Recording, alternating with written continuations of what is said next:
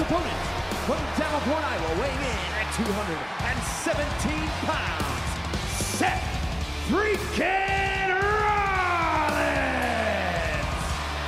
But one mistake against Seth freaking Rollins, and it could all fall apart for Bobby Lashley. He can't afford that tonight. I agree with you completely, but the same has to be said for Seth freaking Rollins, a man who will challenge the Universal Champion, the head of the table, Roman Reigns, at the Royal Rumble. Here's my question. After tonight's matchup against Bobby Lashley, what kind of condition is Seth Rollins going to be in when Raw heads to Toledo, Ohio next week live?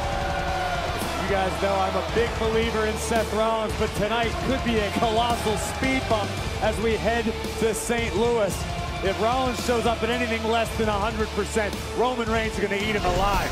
That's exactly what Roman Reigns expects to do as these longtime friends turned rivals will compete for the right to be crowned Universal Champion. Will it be Roman Reigns?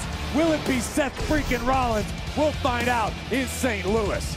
Huge risk, huge reward tonight. Imagine the confidence of Seth freaking Rollins defeating Bobby Lashley and then Roman Reigns. Uh, but, but, are you seeing Bobby Lashley right now? Are you seeing the face of Lashley, the anger of Lashley?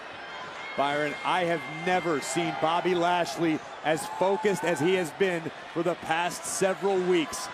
All Lashley cares about is Lesnar at the Royal Rumble. But to your point, Jimmy, if Lashley overlooks Seth Rollins, it could completely derail the Almighty's train. Uh, I don't see, trap fights for a reason. I don't right? see there's any way that Lashley overlooks Seth Rollins. Right now, Ashley wants Lashley wants to destroy anyone, and anyone right now is Rollins.